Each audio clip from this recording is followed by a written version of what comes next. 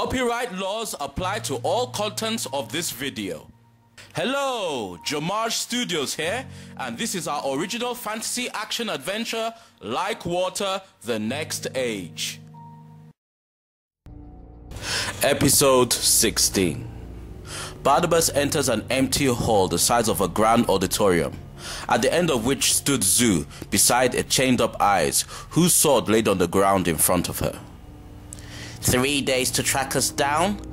Clearly, you have much to learn, said Zoo as Barnabas approached him. What is this all about? asked Barnabas, determined not to give in to his rage. You, my boy, are living proof that your community needed to be destroyed. I mean, you're one programmer, and look at all the grief you've caused me.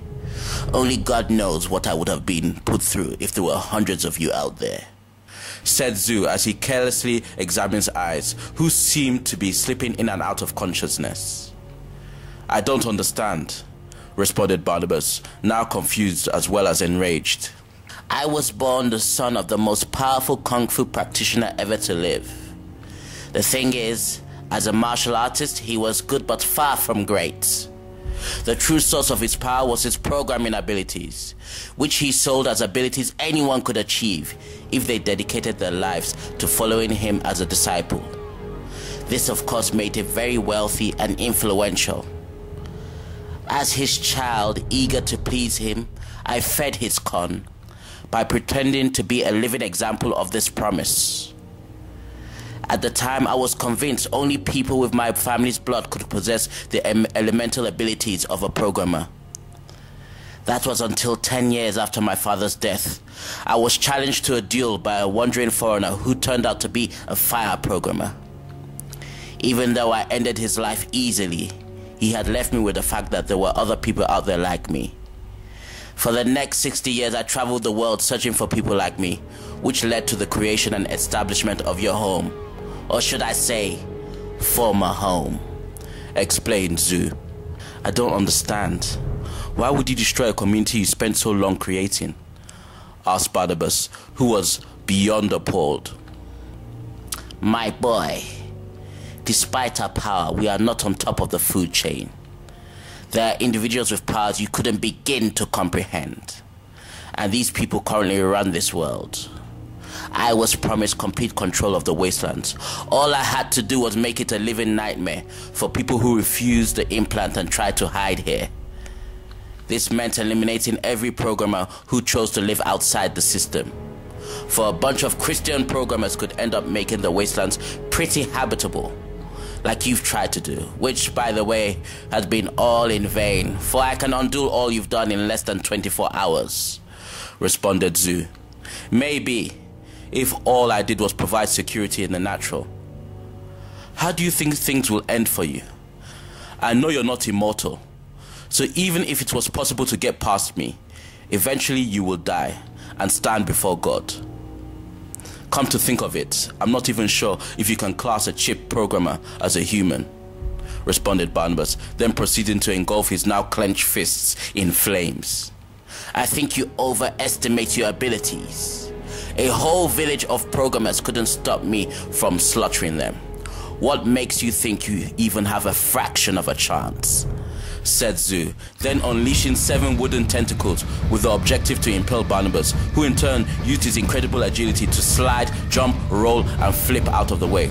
After which, the young programmer found himself in the middle of four large humanoid constructs made out of dirt. He destroyed one with a flying knee to the face, and then used its remains to destroy the remaining three with a series of slickly created weapons.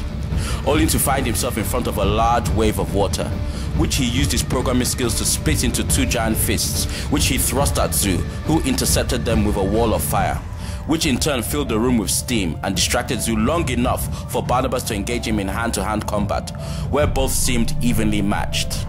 Zoo managed to sidekick Barnabas 10 feet away from him, who in turn flipped to his feet, only to find the evil programmer had created a large steel wall, from which he began to shoot thousands of steel spikes at him. Barnabas in turn quickly manipulated and transformed all the spikes that headed towards him into a reinforced steel armor while he ran towards his foe.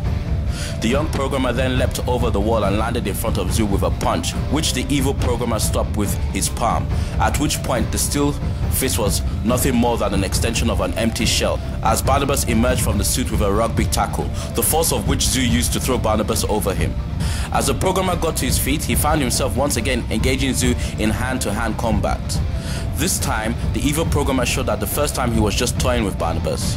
Before long, Zu broke his opponent's right hand and left leg, which caused Barnabas to hit the ground yelling in pain. Because I'm impressed, I will kill you with my bare hands, said Zu as he walked towards the now defenseless programmer, before feeling the sharp pain of a sword being driven through him. A result of a now free eyes due to all the destruction caused by both programmers fighting, literally stabbing him through the back with her sword. You were overindulged during your training, whispered eyes into the ears of Zu, then proceeding to yank her sword out of him, which caused the evil programmer to hit the ground, where his life slowly began to expire. That is the end of episode 16, but before we go, answer this episode's question. Did Eyes commit sin by killing Zu? Give your answers in the comments below as well as on our Facebook and Twitter page. Hope you enjoyed this episode. Stay tuned for the next one. Until then, subscribe to JOMAJ Studio YouTube channel, add us on Facebook, and follow us on Twitter. Link to our website and all social media can be found in the description box below. See you later.